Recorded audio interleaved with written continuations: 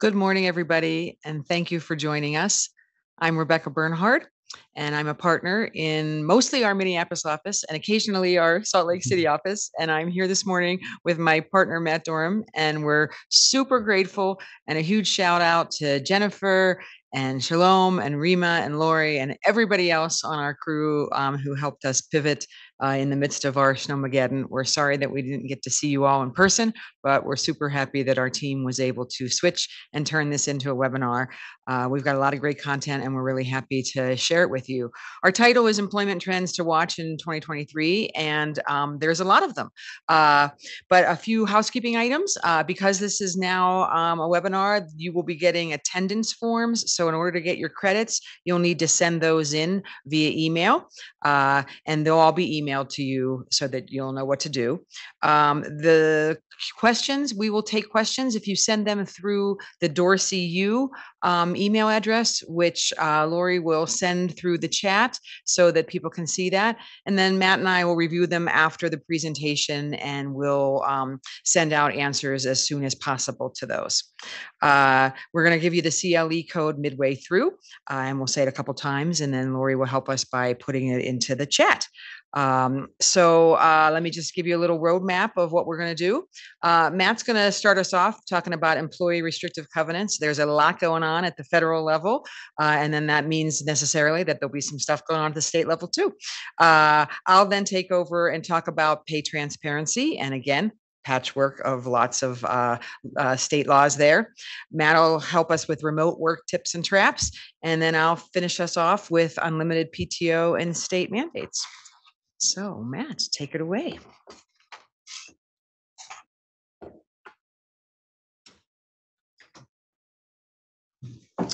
Thanks, Rebecca. And I really want to thank Rebecca for um, making the trip out to Salt Lake to uh, be with us here today and apologize for the weather. Um, but I think that our Minnesotans are used to it. They, they can make it in the snow. Um, the issue of, empl- of employing restrictive covenants has been one that's seen a lot of evolution and change in the last few years. And so we wanted to cover that and give some um, um, ideas about things to watch for and kind of some best practices with respect to restrictive covenants.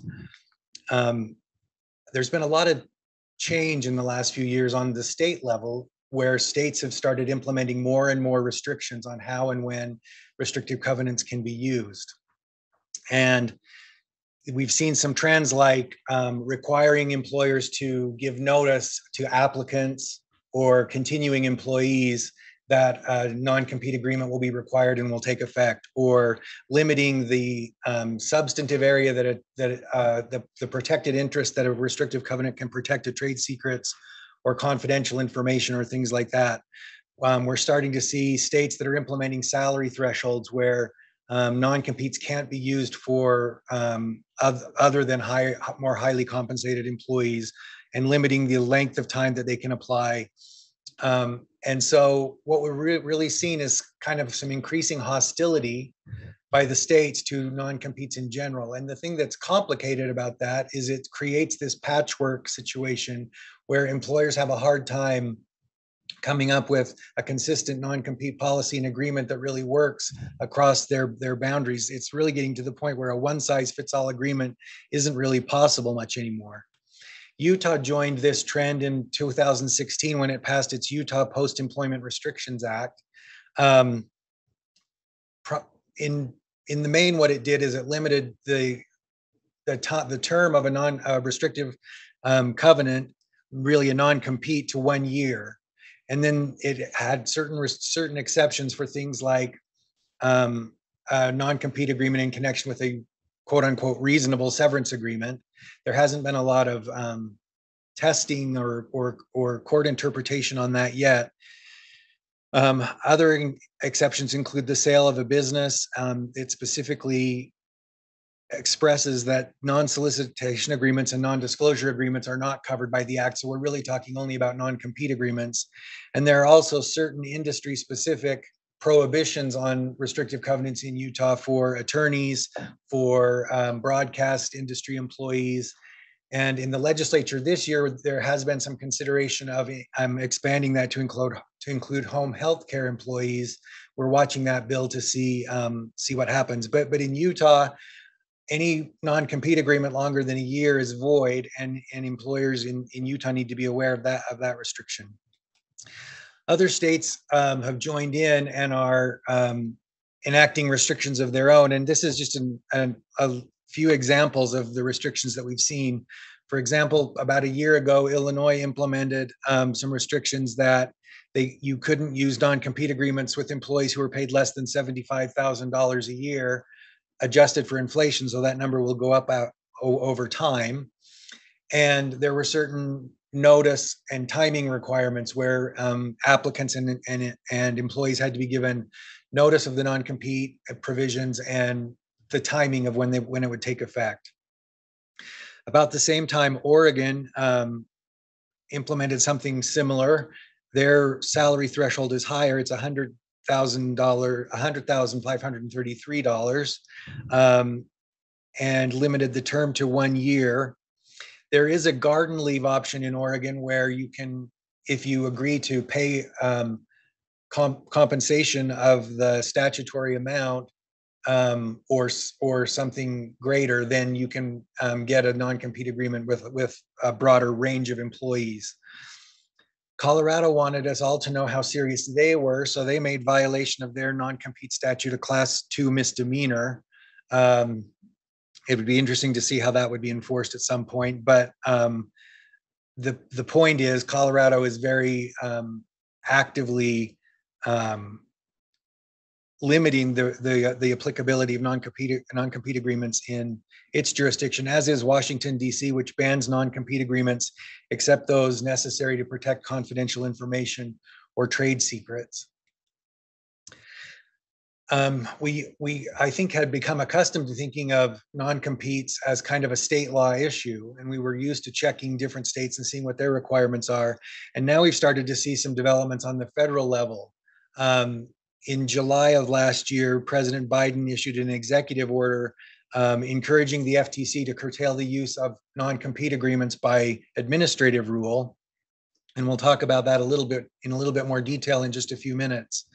Um, in addition, we saw a couple of bills introduced in Congress to um, limit the use of non-competes. The Freedom of the Freedom to Compete Act of 2021 um, basically would have amended the provisions of the Fair Labor Standards Act to ban non-competes for non-exempt workers and would apply retroactively. So employers would have to go back and um, rescind um, non-compete agreements for non-exempt employees.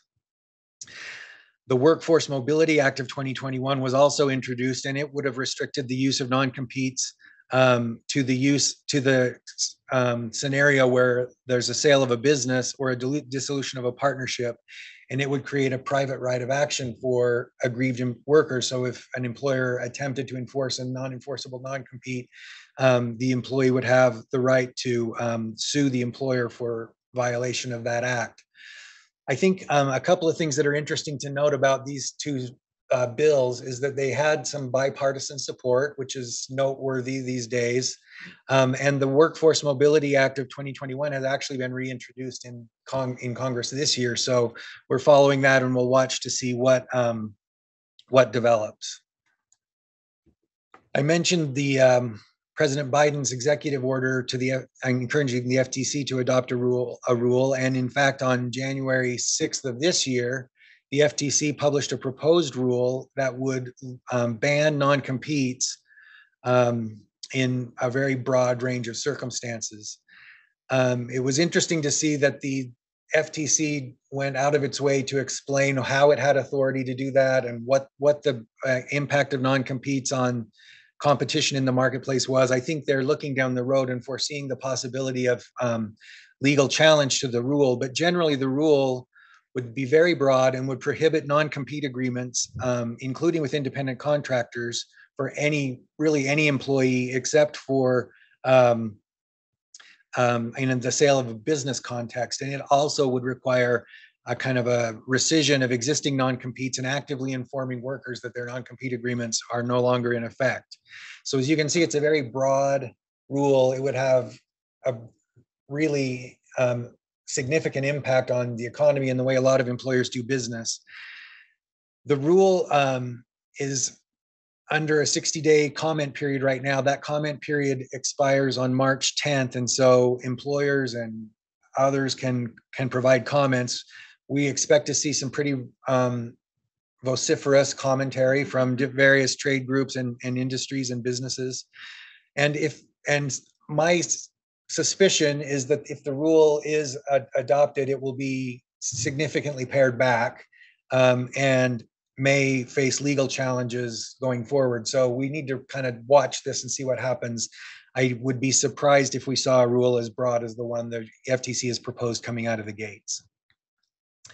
So let's just talk for a few minutes about some of the best practices that an employer can use to um, implement non-compete um, agreements and policies in, in the current environment. First of all, I think it's really important to identify the state law where you're operating. Some states are pretty um, free with their uh, their uh, restrictions on on non-compete agreements. Other states allow um, non-compete agreements to be used more broadly. Some states will honor the law of um, of another state if it's spelled out in, in a non-compete agreement. Other states won't, and so employers have to really be aware of what uh, states they're operating in and what the state law is in those states.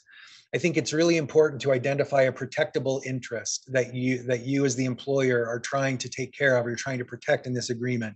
A lot of the backlash against non-compete agreements, I think, has come from some overreach. And if you remember the Jimmy John's case, Jimmy John's tried to have non-compete agreements with their sandwich makers, the people behind the bars making the sandwiches. And I think people kind of thought that was a little much that you couldn't really expect that someone working on the front line of a sandwich shop um, really had some protectable um, interest that an employer needed to, to fence in with a non-compete agreement. Along the same lines, I would try and match the restrictions in your agreement to the, the influence the employee has, whether that's a geographic area or a substantive area, a product line.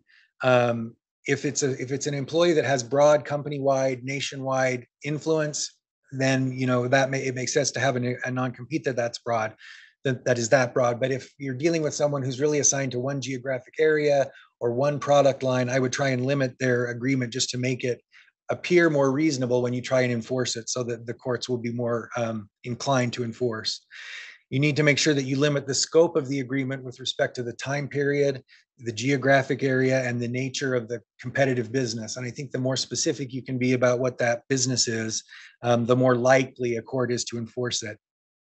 I would consider also um, whether you want to have some sort of notice provision in your um, policies and procedures for implementing non-competes many states don't require um, notice provisions, but if you kind of look down the road, what you need to be thinking about is how am I going to get this agreement, this agreement enforced? And you want to look like you've been very reasonable and fair. And I think if you can say, we told applicants they were going to have to sign an agreement like this, we told employees they were going to have to sign this agreement. This is a, um, we, you know, we gave them this amount of time to consider it. It just makes you look like you're being more even-handed and more fair in implementing these agreements. You can consider garden leave, which is basically the idea of paying someone some or all of their salary during the time that they're um, restricted by their non-compete agreement. That's another way that the courts um, can say this, this, this has been an attempt to protect the company while not harming the employee and may enhance the likelihood of enforceability. Um, I think it's a good idea in your non-compete agreements to include acknowledgments that the um, the, of what you're protecting, whether there are trade secrets and confidential information, what the consideration really is for the agreement. Is it um, ongoing employment? Is it existing employment? Was there was there some sort of bonus paid in connection with the non-compete agreement? Um, and then get the employee to acknowledge that the agreement is reasonable with respect to his or her ability to engage in their profession and and and be employed in the future. Um, I think you'd want to include a provision that would allow the court to reform the agreement if they find it overly broad, that they can scale it back and enforce it to the extent they find it enforceable. And it's helpful to have um, um, acknowledgments about a breach of the non-compete agreement constituting irreparable harm for the employer and that you've given the employee an opportunity to consult with counsel.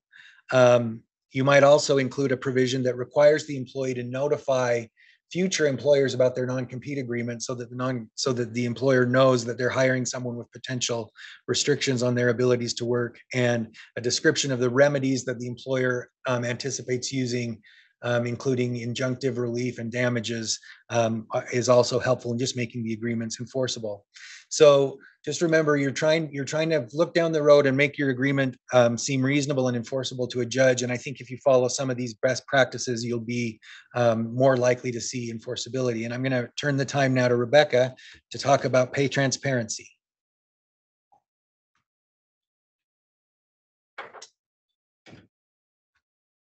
Thank you, Matt. Mm. That was great. Um, I'm so happy that you're here to help me sort all that out because I feel like it's very, very complicated, all the different restrictions and all of that. Um, and uh, what I'm going to talk about is kind of complicated too. Uh, pay transparency laws. Um, there are actually, these are premised on the idea that we need to do better in the pay equity world. Uh, and pay equity loosely is this concept that uh, women make less than men and of course, there is a federal law, and many states have adopted a version of it, which is an Equal Pay Act. And that's two people, a man and a woman, doing the same job. It's still legal to pay the man more than the woman. But pay equity is a broader concept that says uh, comparable jobs. Uh, and so there are states that have um, some version of that. And what there is is a growing trend to basically um, uh, be more transparent with the idea that if people know what the job pays, if people know what other people make, then um, people will be able to advocate for themselves. And so I wanted to talk about three kind of d- general concepts under the pay equity umbrella, and I'm going to spend most of my time on the third one on this slide. Um, so the first one is wage disclosure protections, and these are generally um, rules, statutes, laws that say um, you cannot have a rule as an employer that prevents employees from talking to each other about their own salaries. Now, of course, if someone works in payroll or in HR or some other confidential uh, position, you can prohibit them from talking about everybody's salaries, but you can't prohibit you know Janie and Johnny from talking to each other about their salaries. And of course, the Federal National Labor Relations Act has long since seen that as a form of protected uh, concerted activity. So they've always um, uh, prohibited that. Uh, arguably, some EEOC regional offices have also seen that kind of uh, uh, um, uh, conversation as protected activity insofar as trying to make sure there's no discrimination going on. But there are also 23 states, including the newest one to jump on board, Rhode Island, that have express statutes that say you cannot have a rule that prohibits people from talking about their salaries. And then there's salary history bans, and that was a wave that kind of started a few years ago. Um, uh, according to our count, when we prepared this, uh, 28 states and DC and Puerto Rico have some version of salary history bans. And basically, um, uh, that's basically um, the employer is prohibited during the recruitment phase in asking somebody what they made. And the idea is that by basing your salary offer on what somebody else made at their prior prior or current employer, you may be perpetuating wage discrimination. Uh, the um, President Biden also jumped on this bandwagon in March of 2022 by issuing an executive order applicable to federal contractors. Uh, and um, New York um, has um, a nice, robust one that basically prohibits employers from relying on applicants' wages or salary histories. Um, and you can't seek, request, or require an applicant or employee to provide their salary. And you can't refuse to interview an, or um, employ or promote or otherwise retaliate against an applicant or an employee if the employee is up for promotion um, based on their prior wage or their salary history.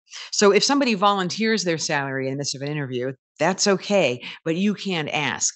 And I know when these started popping up, many employees were like, well, what do we do? Um, and, you know, we advised, you know, don't ask for it. Ask, you can ask, what's your salary expectation? You can say, what would you like to earn? Um, but you can't say, what did you earn and what do you earn? Uh, and so that's how you can get around that. And of course, um, we have um, uh, a Quirky Questions blog, and we have some articles posted on that. So I direct your attention to that.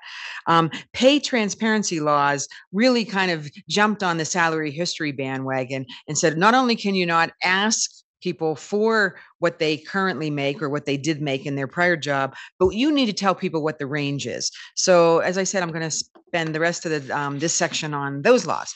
So basically, there are three categories. Um, there are, and this is um, another example of the patchwork problem that Matt talked about in the restricted covenant section.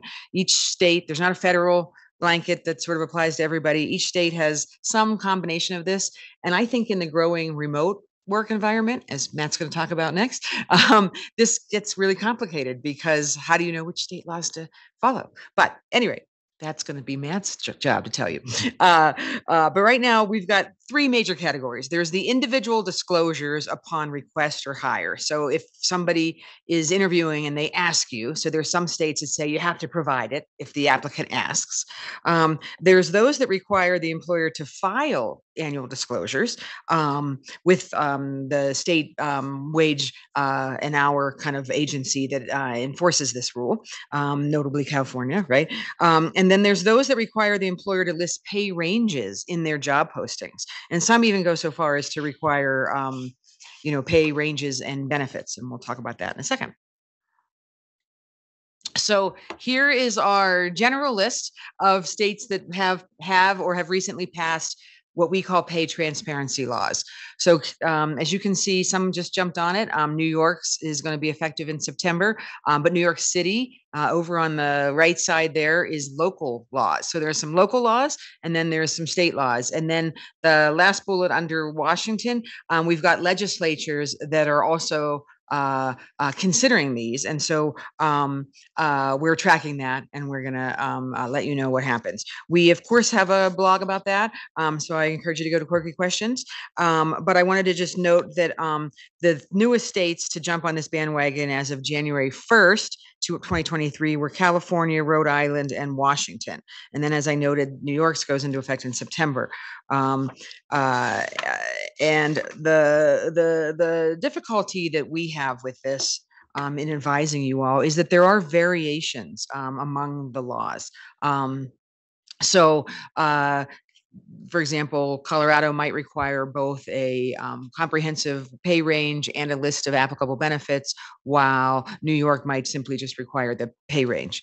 Um, it's also very unclear what the applicability to remote workers is. Um, now, of course, some states are taking the position that they are applicable to remote workers uh, outside of the state.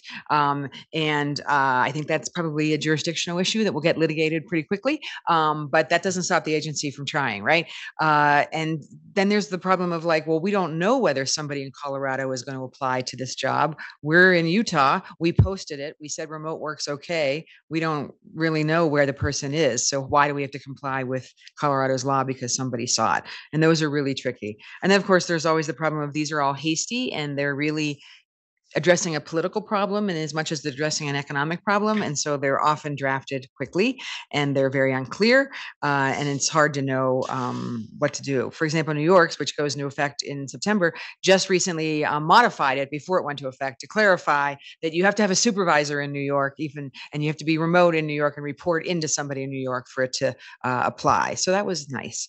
Um, so again, we're trying to keep on track of this, and and uh, we're trying to keep everybody updated. Uh, but as um, as we know, uh, the law keeps changing, and people keep um, modifying it as the workplace itself changes. So, what do we think you should do? Well, first of all, you need to educate uh, your management team and your HR folks. Um, uh, I talked about the salary history ban, and I think a lot of people still don't know that. And I think a lot of managers who do maybe that first what I'll call soft recruiting when they meet someone at a conference or uh, maybe through LinkedIn.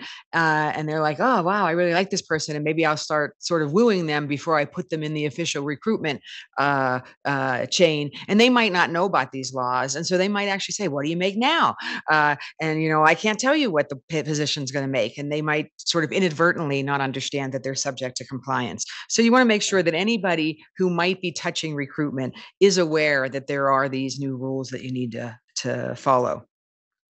We are recommending um, for employers who, um, especially employers who have a national scope and a and a somewhat uh, uh, active remote or hybrid workforce, that you conduct um, a comprehensive pay equity study um, so that you can help remedy um, uh, and I, identify and, if necessary, remedy uh, any pay uh, discrepancies that you have.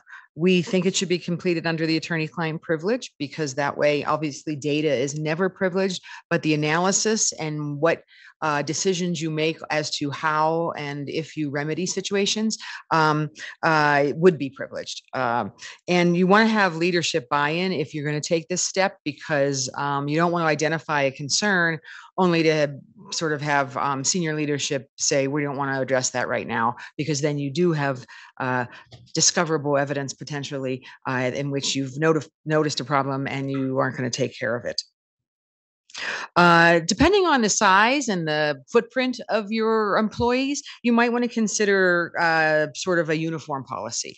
Um, that might not be practical and it might not be desirable for everybody, but some of the larger corporations, uh, notably Microsoft and IBM, are jumping on that uh, uh, bandwagon and saying, you know, this patchwork is really difficult and we're just going to go ahead and find uh, the most employee friendly of these transparency requirements and we're going to make sure all of our posted jobs comply with it. Uh, that way, if somebody happens to be uh, considering a position, we know that we've complied with that that particular state's um, uh, laws. Um, the of course the the variations among the state laws are not always easy. Uh, is a link to the benefits policy sufficient under Colorado's law, uh, or must you actually list out uh, the details of it?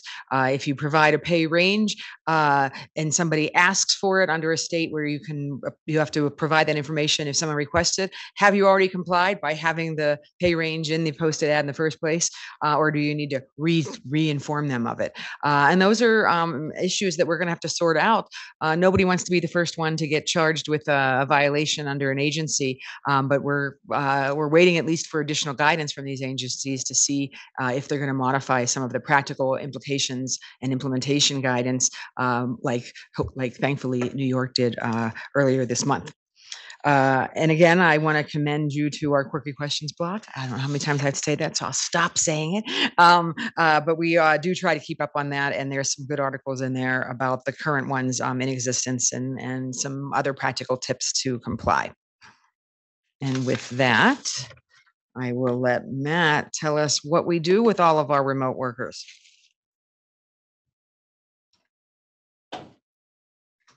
Thanks, Rebecca. Um, if there's one thing that has sort of defined the changing workplace in the last few years, I think it's the advent and the expansion of remote work.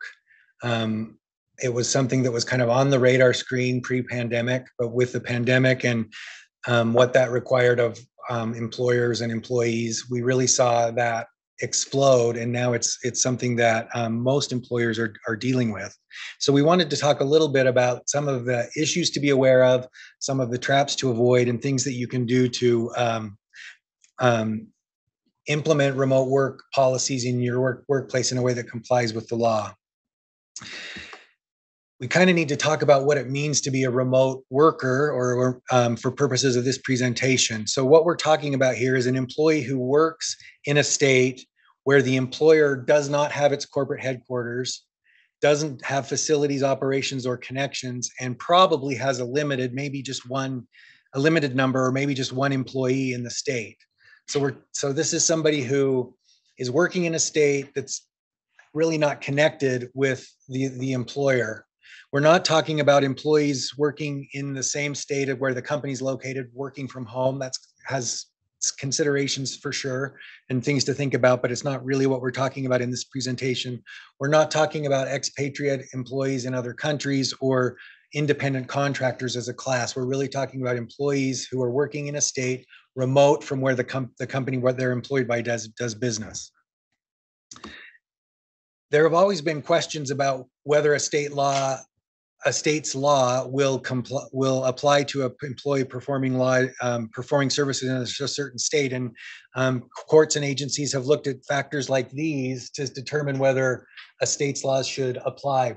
What's the purpose of the employee being in the state? Are they there to work for the employer, perform, actually perform services, deliver goods, deliver services, or are they there to attend a conference or a training or something like that? How long are they going to be in, in the jurisdiction? Are they there for a one day meeting or presentation, or will they be there for a longer period of time? How often are they in the jurisdiction? Is this a one off situation, or is this something that um, is really a regular part of their job? And then what is the type of job that we're talking about here? If it's an actor or a salesperson or a professional athlete, maybe their tra- the transient nature of the services they provide means that the state laws shouldn't really apply. But if it's someone who has a more traditional job, um, perhaps the state that state's law will apply. As you look at these four factors, you can see that the remote worker that we're kind of talking about will often um, satisfy all, some or all of these factors. They're usually someone who's working on a regular basis, performing services for the company. They're in the location because that's where they want to be working, and so the, the, they often trigger um, considerations about what the state where they're working applies. So we want to talk about a few different areas of the law that you should be um, aware of and think about as you're um, managing and and and hiring remote workers. And the first one I wanted to talk about was wage and hour issues. Um, again, a big patchwork of different re- uh, requirements and, and regulations around the country, depending on the state that you're operating in.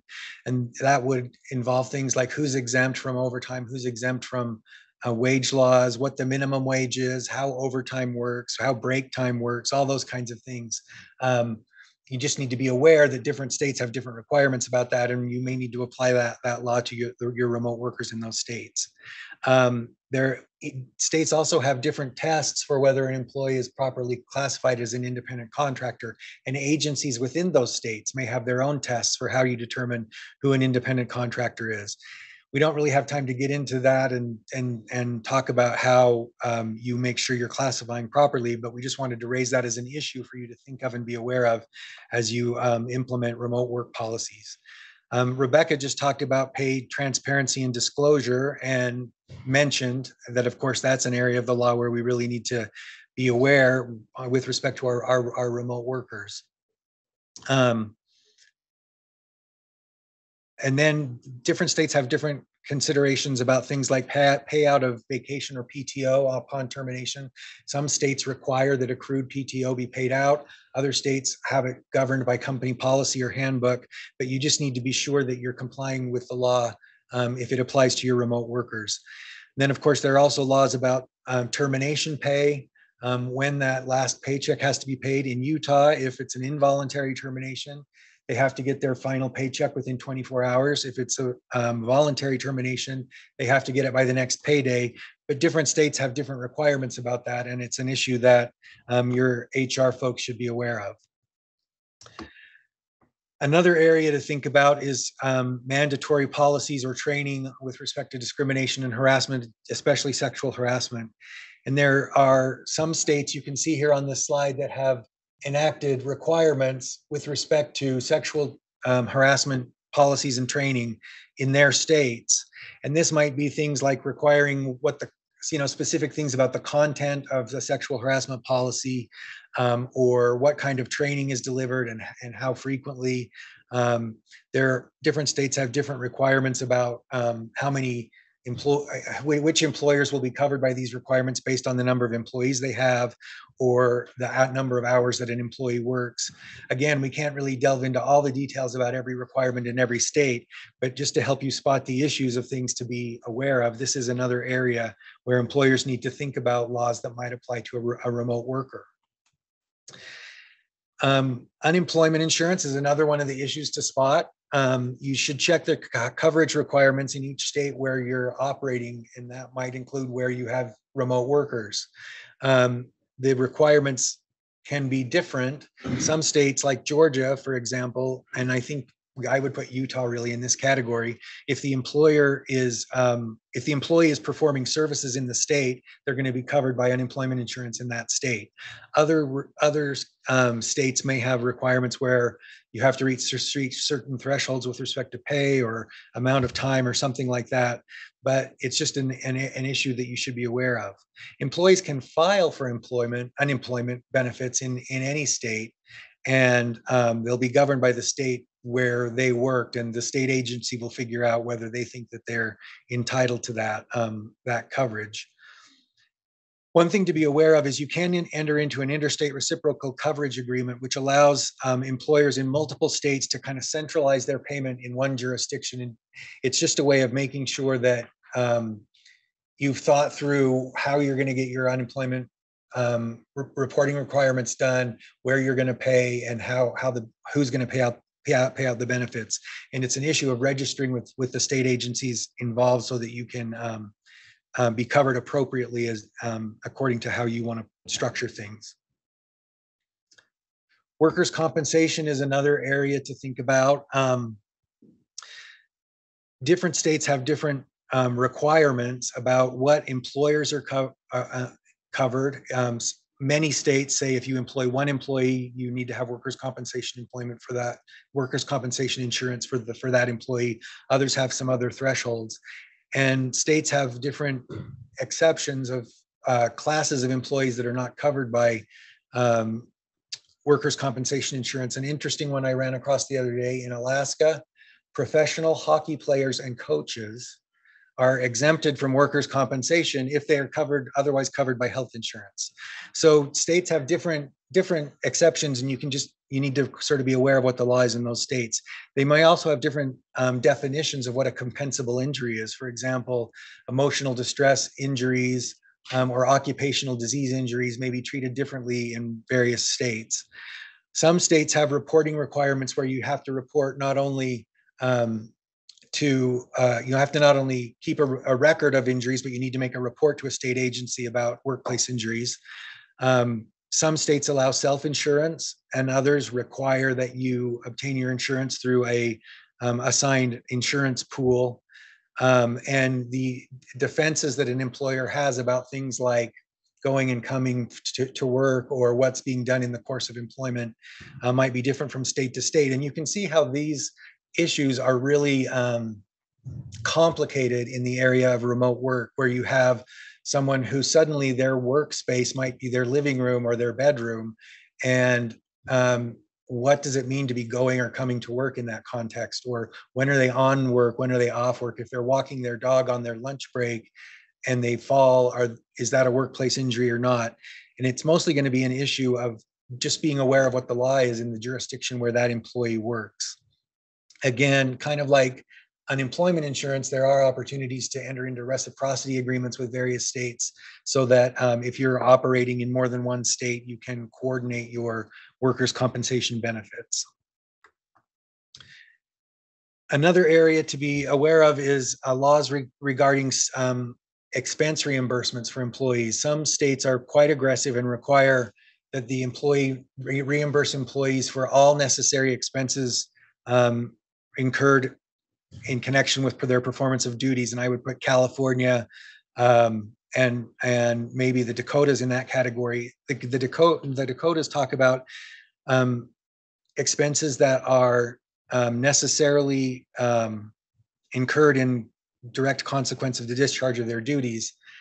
And I think that presents an interesting question with respect to remote workers because um, if they are required to have computer equipment or internet service or a certain type of hardware for their computer or something like that, um, is that a covered expense? Or if they're choosing to work remotely, is that an expense that's necessarily incurred? Those are things to kind of think about, but it's going to be a it may be a different answer in different jurisdictions depending on where where your where your employee is working.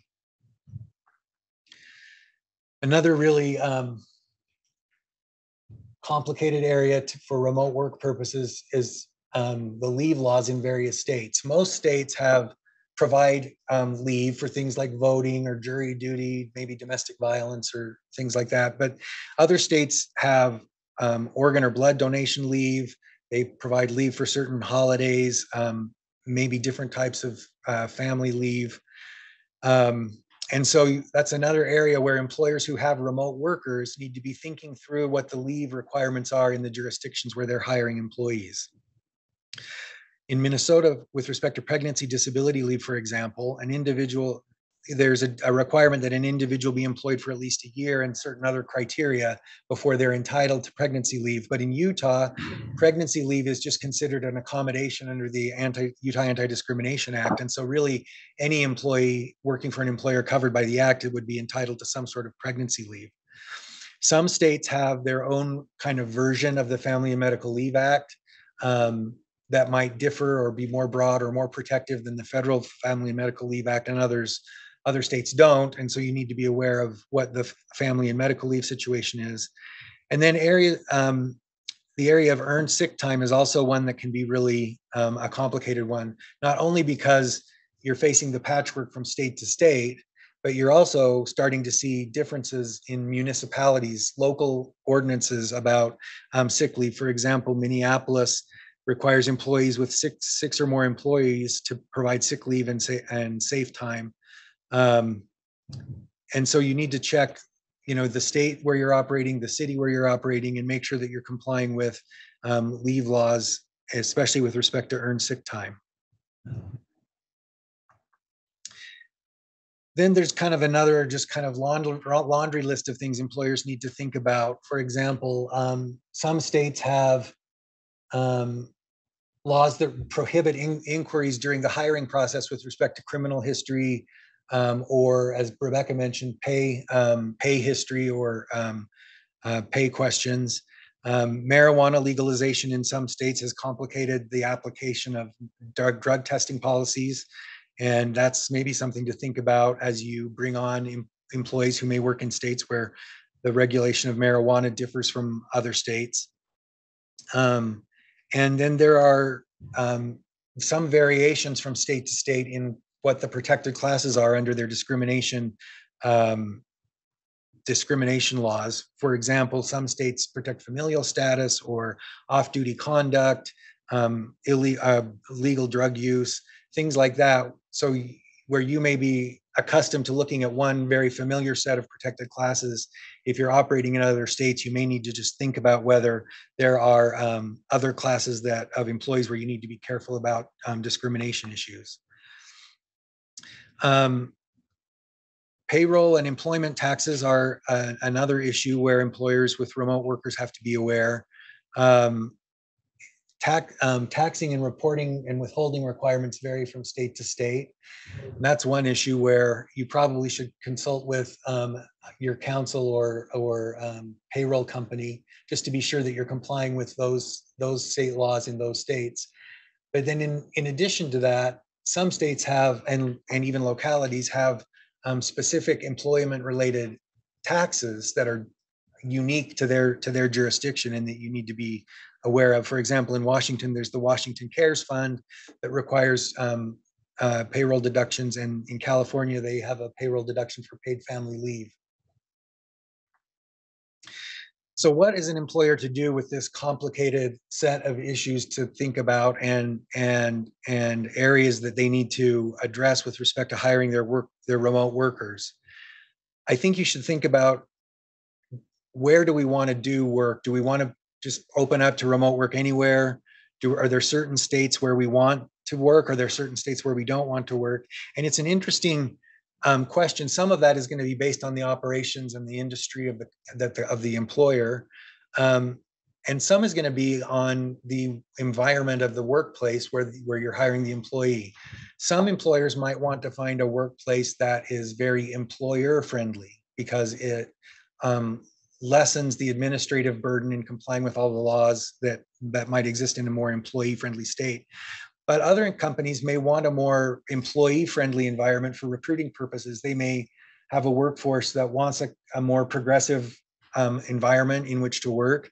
And so you can sort of think about what kind of state you want to operate in and maybe make some intentional choices about whether you're going to um, allow remote work in certain states or not other states, or if you're going to um, target states for um, recruiting or not. Um, there are certain states that um, have sort of gained a reputation for being particularly employee friendly and a little bit difficult for employers. And those would be states like California, Colorado, New York, maybe Massachusetts. Other states um, are known for being a little bit more employee friendly. And so that's just something that um, employers can think about.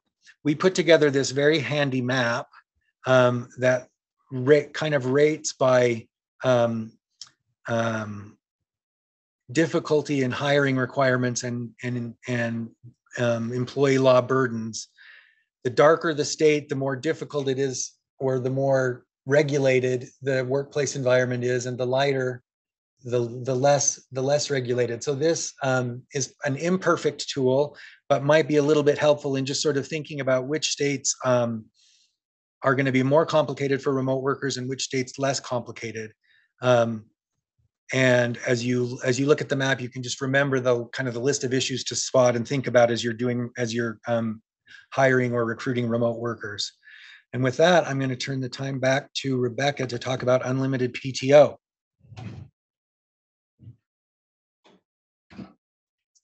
Thank you, Matt. I'm going to go back to the map for one more moment because I just love it, um, and it's kind of a nice uh, lead into my my issues too. Because although my issues are sort of off off of the uh, legal um, landscape because there's no requirement to um, give unlimited PTO. It's really a trend I'll talk about. But there are, as we've already touched upon, a lot of local leave laws and state leave laws and mandated time off, whether it's paid or not. And so when you think about this map, um, you know, it's likely that the darker states like California and Colorado, and maybe even my home state of Minnesota, which is like the second darkest, um, might have laws that make it a little harder for the employer to know what to do versus um, you know we all we all love employees in utah uh, and arizona because it's one of the less regulated states and so it's good to do business in uh, places like that. Um, so uh, and so shout out to everybody who helped Matt and I with this map. um, so uh, there is a growing trend, um, uh, and I admit that I wasn't aware of it until one of my clients mentioned it. Um, but then I started to learn about it, and um, there's this concept called unlimited paid time off. And you know, a cynical employment lawyer like me, who's always seeing ghosts around every corner, is like, "What? How do you make sure people actually come to work? Um, and uh, turns out that people do. Uh, it turns out that there are pitfalls in unlimited PTO, and so we're going to talk. We're going to spend the rest of the time together talking about the pros and cons of uh, unlimited pay time off policies. Um, but I did a little bit of survey work um, uh, for today, and turns out that the number of employers who reported, and so this is self-reporting, uh, and this was a Timetastic uh, 2022 survey, uh, they rose 178% between 2015 and 2019, which um, really uh, shocked me. Um, uh, and then there's mixed results though on the employee satisfaction. Um, uh, some surveys suggest that um, 30 to 42% of respondents work while they're on vacation. They feel like the unlimited PTO really means no PTO. Um, uh, and um, uh, other folks say that they actually want an unlimited PTO as a benefit over some other traditional perks like a higher salary or some other uh, uh, uh employee benefits that uh, traditionally we use to entice workers to come work for us. I think some of the comments in the folks who felt like they um, didn't get real time off tended to be from higher level exempt managers and executives uh, who were like, "Yeah, I have unlimited PTO, but I never really get any time off." Um, uh, and and so that's a sort of um, interesting sort of lead into what I would uh, say is kind of my compiled list of the pros of unlimited PTO. Um, it can be a recruiting and retention perk. It's particularly trending high in sort of the um, tech industry and in startups in general. Um, and I think that's because of the second bullet point I list, which is you can eliminate administrative PTO tracking tasks.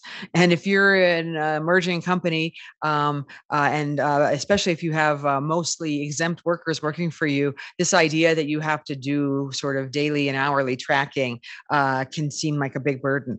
Uh, and if you're lean in terms of your overhead, um, uh, then getting rid of this burden uh, of administrative tracking uh, is very desirable.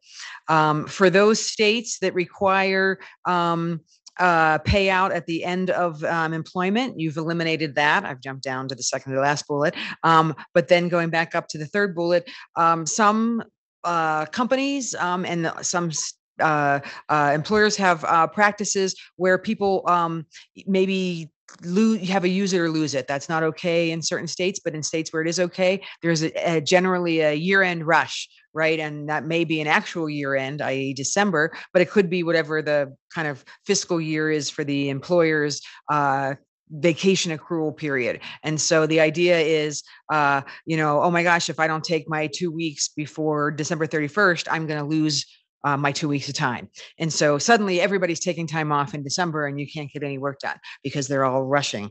Uh, so having this sort of unlimited uh, uh, uh, benefit avoids that year end rush.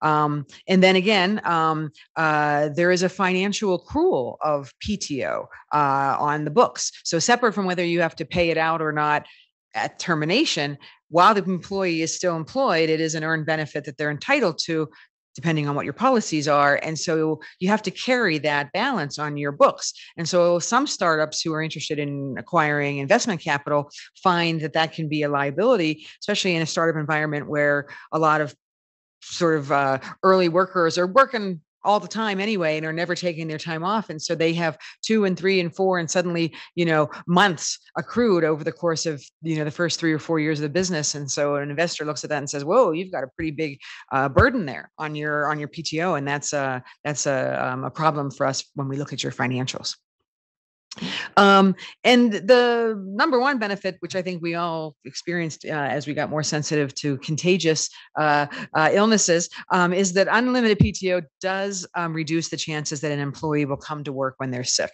Uh, folks who have limited amounts of sick or vacation, if it's segregated, or PTO, tend to save it up for their trip uh, tend to save it up for uh, you know a leave that they know is coming up um, maybe for another medical reason or whatever and so that occasional day of the flu uh, they're going to come to the office and now suddenly everybody um, is sick Okay, so is unlimited PTO really unlimited? So these are some of the risks uh, to having this policy.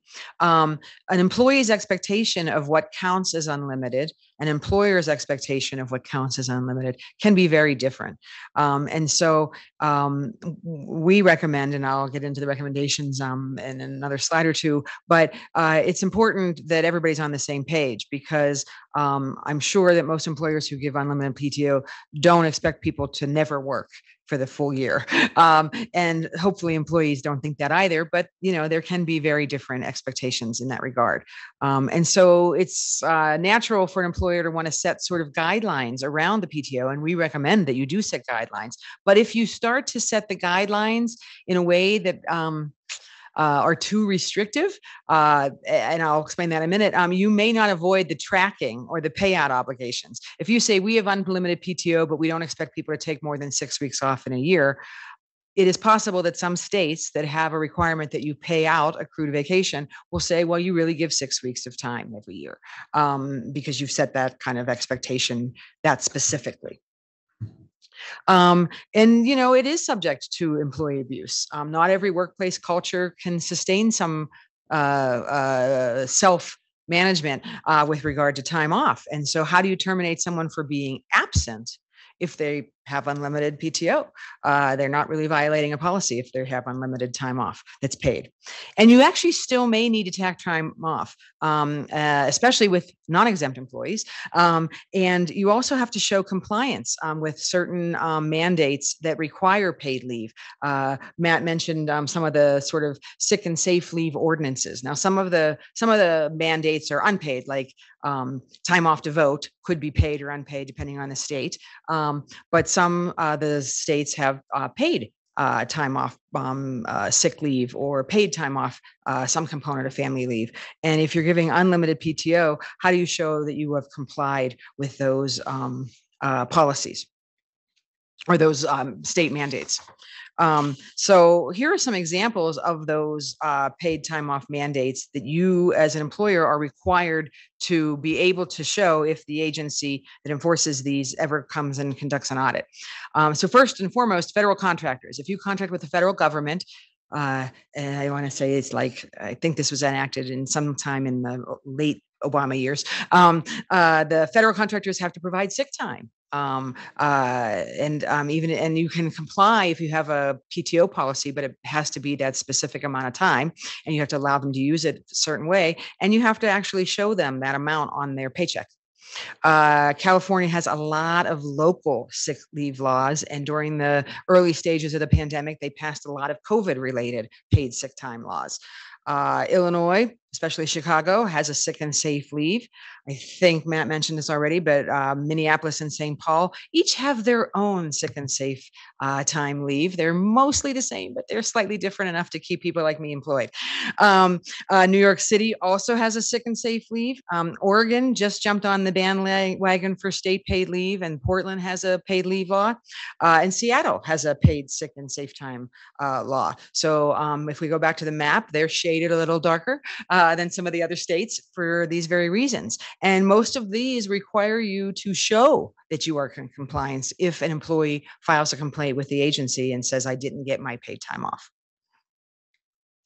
So, uh, first and foremost, uh, we believe that you should consider offering unlimited PTO only to exempt employees or higher level managers.